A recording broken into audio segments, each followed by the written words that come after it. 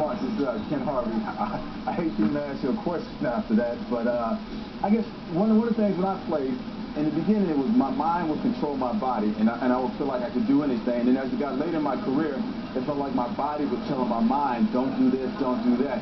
Do you feel like you've gotten to the point where your body is telling your mind that if you take a big hit, it's going to hurt a little bit more and it affects your play at all? Or do you think... Uh, no, I don't...